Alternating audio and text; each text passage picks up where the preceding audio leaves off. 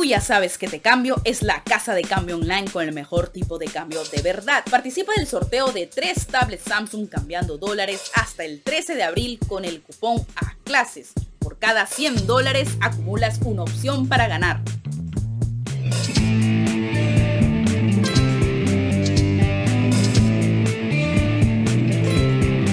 Hola, ¿qué tal? Soy Romina Badoino, bienvenidos a La Encerrona, tu mini noticiero en pandemia. Hoy es jueves 31 de marzo, por fin se acaba marzo después de haber sentido que duraba cuatro meses, tres noches, cinco días, muchos días. Y bueno, y Fujimori no saldrá de prisión, al menos no saldrá hoy como tenía previsto los Fujimoristas. Ayer, la Corte Interamericana de Derechos Humanos le ordenó al Estado peruano que temporalmente se abstenga de ejecutar la sentencia del Tribunal Constitucional, esta sentencia comentadísima que le restituía el indulto a Alberto Fujimori y ordenaba su inmediata libertad. ¿A qué se debe esta decisión? Este es el oficio que la Corte le envió al procurador supranacional Carlos Reaño, quien es nuestro representante ante el sistema interamericano de derechos humanos. Allí le requirieron que no ejecute la orden del TC hasta que la Corte pueda revisar el fallo emitido por los magistrados Ernesto Blume, José Luis Sardón y Augusto Ferrero y se tome una decisión sobre las medidas provisionales que han solicitado los familiares de las víctimas de los casos Barrios Altos y La Cantuta. La resolución que fundamenta esta decisión fue publicada anoche. ¿Qué es lo que la Corte busca con esta decisión? El objetivo central es garantizar el derecho al acceso a la justicia de las víctimas y evitarles un daño irreparable. Las sentencias previas de la Corte le ordenan al Estado peruano que cumpla con su función de investigar, juzgar y sancionar. Y precisamente lo que ahora la Corte va a evaluar es si el Estado peruano ha cumplido con esas obligaciones. Además, la Corte ha citado a los representantes de las víctimas, a los del Estado, y de la Comisión de Derechos Humanos a una audiencia pública para revisar el pedido de las medidas provisionales para el primero de abril. Anoche el procurador Carlos Reaño conversó con el portal Convoca y les informó que el Estado peruano cumplirá con la orden de no liberar a Fujimori, pues, y cito lo que dijo, la disposición es vinculante. Ellos ya notificaron de la decisión de la Corte al Ministerio de Justicia, a la Procuraduría General del Estado, al INPE y por supuesto al Tribunal Constitucional. Pero como era de esperar, esta decisión revivió la polarización.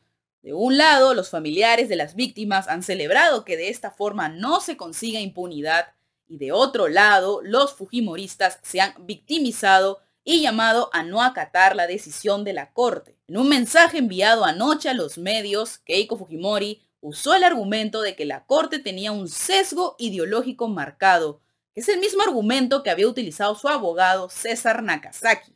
Pero Keiko dijo algo más.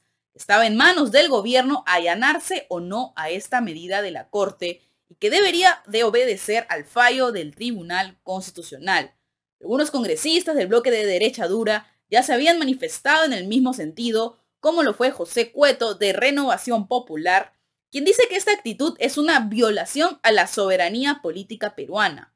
Patricia Juárez del Fujimorismo retuiteaba los comentarios de políticos de Vox y Héctor Valer, el breve, también se sumó a este coro de reclamos. Pero hay que recordarle a Keiko Fujimori y a los congresistas que el Perú está obligadísimo a cumplir las sentencias de la Corte Interamericana. El constitucionalista Luciano López lo explica bien ayer en su cuenta de Twitter. Primero, existe la Ley 27775, que regula el procedimiento de ejecución de las sentencias emitidas por tribunales internacionales.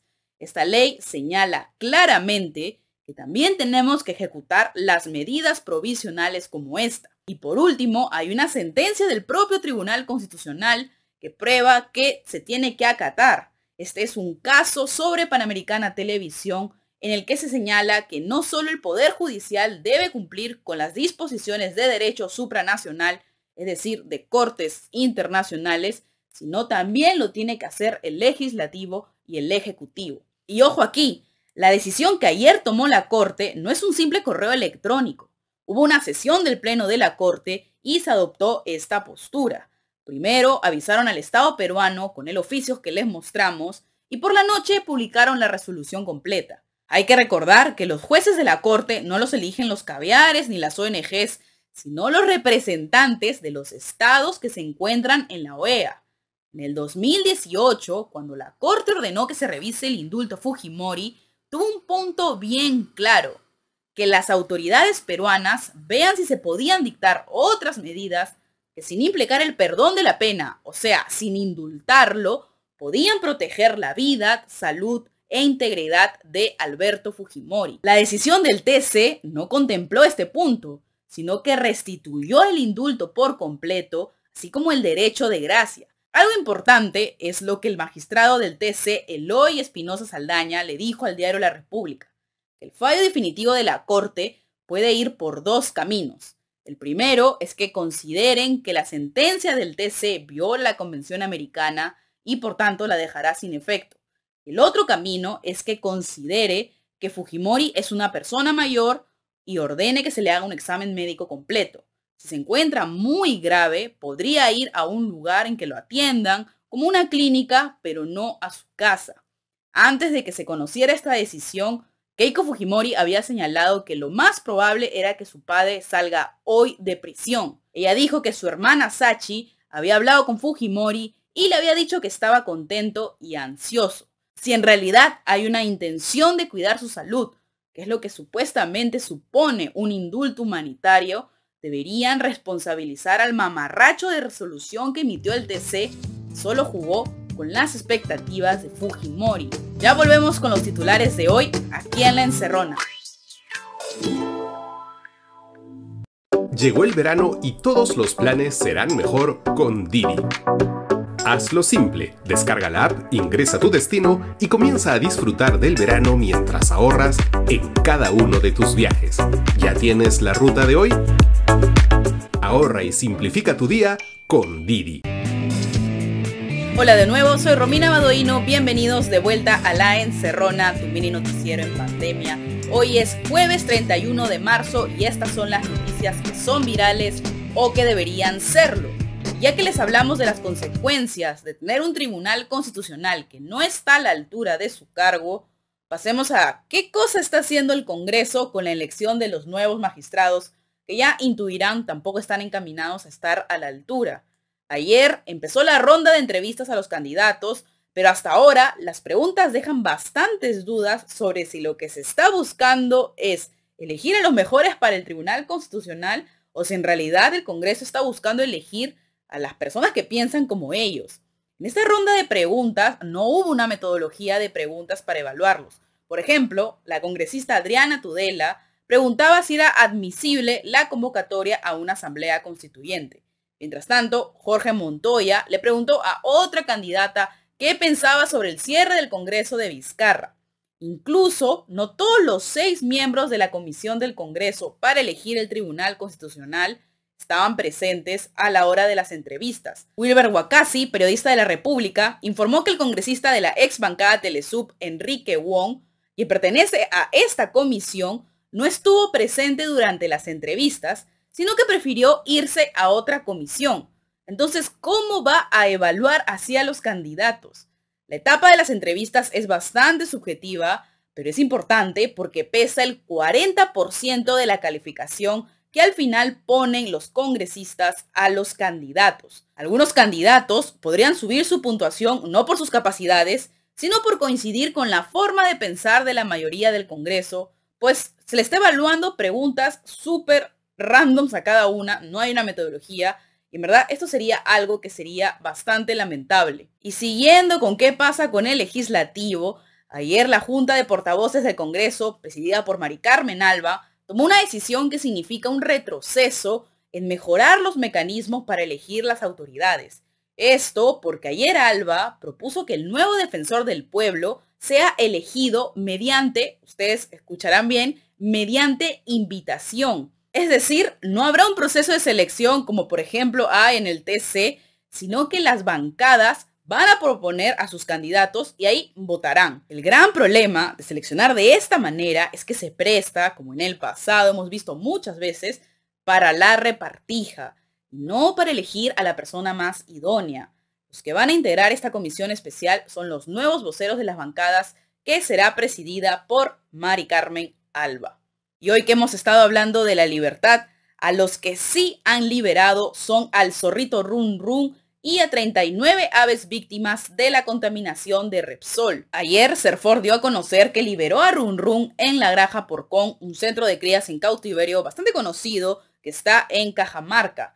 Este es un espacio en el que Run Run va a seguir recibiendo atención porque hay que recordar que este zorrito, que que pusieron Run Run de cariño, tuvo que recibir atención médica pues contrajo enfermedades por estar en contacto con perros callejeros. Esto es motivo para recordarles que no debemos comprar animales silvestres, pues animalitos como Run Run jamás podrán volver a su hábitat natural, pues no han aprendido a defenderse solos desde cachorros. También, a dos meses del derrame de Repsol, el CERFOR, junto al personal del Parque Las Leyendas y de la Marina de Guerra, liberó a un grupo de 39 aves en una playa privada de la Marina en Pachacamac, según informó el diario El Comercio. Pero hay que recordar que aún quedan 90 aves que han sido rescatadas y que todavía se mantienen en el centro de rescate porque aún no ha terminado su recuperación. Y más detalles de la investigación del momento.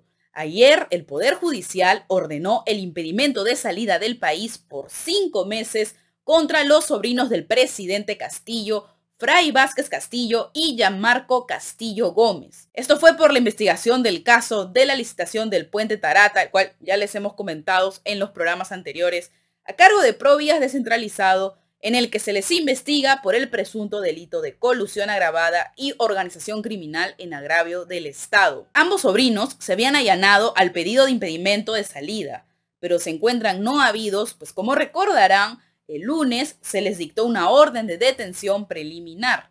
Mientras tanto, la abogada de Bruno Pacheco, Juliana Quiñones, dijo que su patrocinado no se allanará a la orden de detención preliminar que tiene en contra y que quiere afrontar el proceso en libertad. Y antes de irnos queremos comentar algunas noticias de manera muy breve. Primero, ayer, durante la exposición del viceministro Juan Carrasco en la Comisión de Fiscalización, a un congresista aún no identificado que estaba presente en la sesión, se le escapó un audio con gemidos, un hecho bochornoso que muestra que todo el mundo cae en esta clásica broma de WhatsApp. Y bueno, estaba ejerciendo mi parte de mi vida privada, ¿no? Y es, es este hecho, ¿no? Segundo, hoy el Congreso verá la moción de censura contra el ministro de Salud, Hernán Condori. No se sabe si alcanzarán los votos, pues como recuerdan, el pedido para censurarlo se presentó la semana pasada apenas con 33 firmas. Y tercero, ayer concluyó el periodo de Zoraida Ábalos como fiscal de la Nación.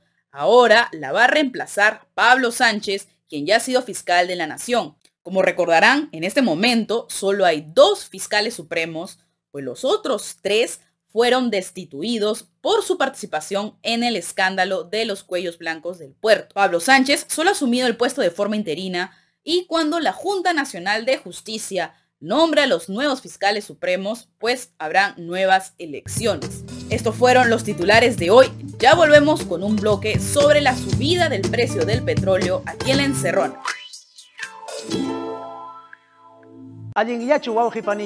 Clase Popular y La Encerrona presentan curso de quechua urgente. Mi lengua originario es quechua. Toda mi familia somos de quechua hablantes. Marlene Quispe, quechua hablante experta por la Universidad Nacional Mayor de San Marcos. 10 módulos, materiales extra, reuniones para consultas con soporte en castellano y certificación. ¡Tú para Chicama! Nos vemos. para Chicama.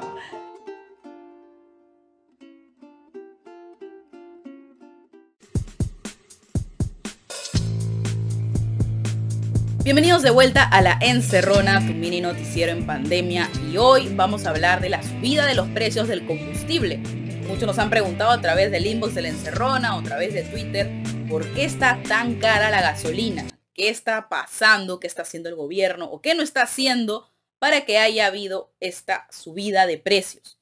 Hace unos días, el Ministerio de Energía y Minas publicó el decreto supremo 002-2022-EM en el que oficializó el ingreso de la gasolina y el gasol y otros hidrocarburos al Fondo de Estabilización de los Precios de los Combustibles Derivados de Petróleos, más conocido como FEPC.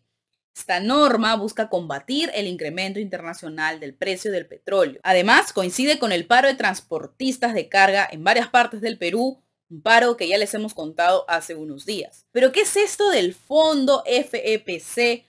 ¿Por qué evita la volatilidad de los precios del petróleo? ¿Por qué ha subido el petróleo? ¿Es suficiente esta medida del Ejecutivo para que los transportistas, también nosotros, los ciudadanos de pie que tengan carro, paguemos menos por su gasolina. Para entender esta medida del Ejecutivo y que nos aclaren estas dudas, conversamos con el economista y director ejecutivo de la Red de Estudios para el Desarrollo, Oswaldo Molina.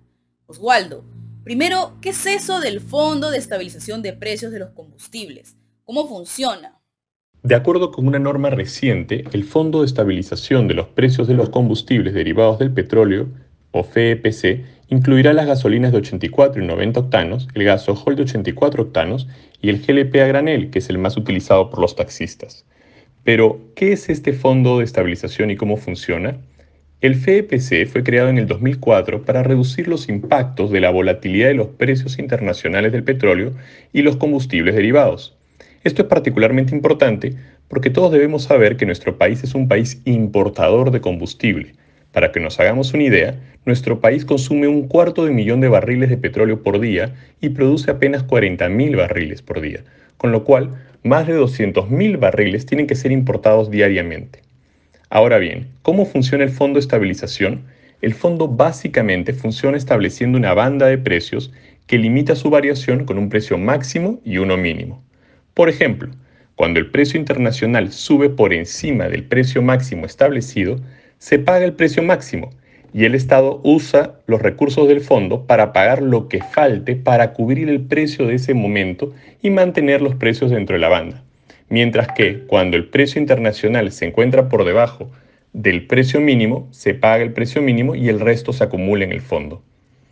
En este punto es importante explicar que este fondo funciona para la primera venta, es decir, aquella en la que intervienen los importadores o productores de crudo, no los consumidores finales. Se espera que estos precios mayoristas luego se trasladen al consumidor final. ¿Por qué el gobierno ha decidido ingresar estos combustibles al fondo ahora y no antes? Aquí tenemos que tener un poco de contexto internacional. Los precios internacionales del petróleo venían subiendo junto con otros precios internacionales pero esta situación se ha agravado debido al conflicto entre Rusia y Ucrania. Debemos recordar que Rusia es el segundo mayor exportador de petróleo a nivel mundial. Entonces, para que todos entendamos, según el Banco Central, en diciembre de 2021, el petróleo tenía un precio de 77 dólares por barril. Para el 22 de febrero, un par de días antes del conflicto entre Rusia y Ucrania, ya estaba en 95,7 dólares por barril. Para el 9 de marzo, con el conflicto encima, ya estaba bordeando los 110 dólares por barril. En total, entre diciembre y marzo el aumento ha sido de 42,6%. Esto es relevante porque el petróleo afecta no solo el precio de los combustibles, sino de los demás bienes. Pensemos, por ejemplo, en los bienes que tienen que ser transportados. Ahí, de alguna manera, los precios de los fletes también aumentan y, por tanto, los precios de estos bienes que deben ser transportados. Ahora, la inflación en el Perú en febrero del 2022 se ubicó en 6,2%. Sin embargo, este dato oculta algo importante. La inflación de solo alimentos y energía fue de 9,4%. Esta es la que más siente la población, ¿no? que es sobre todo la población más pobre, porque son los alimentos y la energía. Y por eso eso explica el descontento generalizado que todos vemos ahora.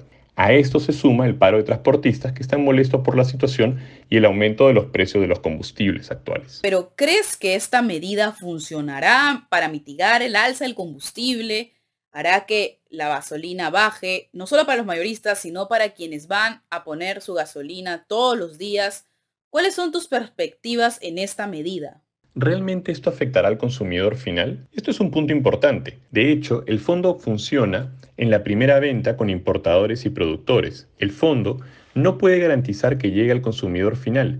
Eso dependerá de la cadena de comercialización, es decir, de cuántos comerciantes hay entre el mayorista y el consumidor final. Por ejemplo, en el caso del diésel, que tiene una cadena de comercialización más pequeña, que representa alrededor del 15% del precio final, se espera que sí impacte. Pero en cambio, en el caso del GLP, que tiene una cadena de comercialización más larga, atomizada e informal, y que representa alrededor de 30 o 40% del precio final, no se espera que se traslade totalmente al consumidor final. Un segundo punto es que el fondo es ciego y favorece a personas que no necesitan necesariamente la ayuda. De esta forma se beneficia a todos sin ningún tipo de focalización en los que más lo necesitan. Para que nos hagamos una idea, la reinclusión del GNP envasado en el fondo en septiembre costó cerca de 200 millones de soles. Paralelamente, se tiene en el Perú el vale de descuento GLP o el bono FICE, que es un programa de subsidio a la demanda que brinda un descuento de 20 soles, ahora 25 lo acaban de subir, para la compra mensual de un balón a cerca de 700.000 hogares peruanos. Ahora bien, con los 200 millones gastados en la reinclusión del GLP, se, hubiese podido beneficiar a 2,7 millones de hogares con el vale de descuento GLP o bono FICE, es decir, cerca de la mitad de los hogares que consumen GLP en el país. De hecho, estaríamos ayudando de manera más directa a las personas que más lo necesitan, eh, porque esto es un descuento directo, ¿no es cierto? Sin ninguna intermediación. Entonces, en conclusión, es oportuno reevaluar cuál es el mejor mecanismo para aliviar parcialmente el consumo de GLP de los hogares peruanos. Muchas gracias, Oswaldo Molina. No hay tiempo para más. Recuerden que la encerrona está libre de derechos, así que Llévensela, llévensela a sus radios y televisoras locales y búsquenla en nuestros canales de YouTube, Instagram, Facebook, TikTok, Spotify o donde sea que escuchen sus podcasts con el hashtag La Encerrona y rótenla, rótenla con su familia, sobre todo con sus amigos que no saben qué está pasando con la gasolina, con ellos también, porque La Encerrona es gratis y es gratis gracias a todos los que yapean, a todos los miembros del canal de YouTube y también gracias a todos los que se suscriben vía Patreon, que es una plataforma muy segura de usar, muy fácil, inténtenlo. Y hoy es jueves de Ginoneo y nos escriben del teatro. Hola equipo de la Encerrona, les quiero contar sobre la obra Al borde del abismo. ¿De qué trata? Cuenta la historia de un viejo mercenario que regresa a su ciudad natal con el fin de apoyar la revolución que busca la libertad de un pueblo hundido ante un frío y sombrío poder. Será en este retorno que se topará con un fantasma de su pasado, una mujer entrenada por su propia mano que con sus letales habilidades pondrá al borde del abismo todo aquello por lo que nuestro protagonista ha luchado en los últimos años, donde se presenta en el espacio Teatro Esencia de Barranco todos los sábados y domingos del 2 al 24 de abril. Para el público de la encerrona el precio es de 20 soles, 5 soles menos que la preventa. Para mayor información me pueden escribir al Instagram Michelle Roselo Actriz. Esto es todo por hoy. Soy Romina Badoino y esto fue La Encerrona, el único noticiero que te mando un abrazo. Chao, hasta la próxima. El periodismo es sobre todo un servicio a la comunidad, por eso tenemos una cuenta en todas las comunidades, desde Telegram hasta TikTok sin dejar de lado ninguna. Hola, soy Claudia Guevara, gestora de comunidad de la Encerrona y mi trabajo es escuchar lo que ustedes nos cuentan, opinan y necesitan. Son cientos de mensajes todos los días y si te has sentido escuchado por nosotros, por favor considera suscribirte a nuestro Patreon o a nuestra comunidad de YouTube. Nos estamos leyendo.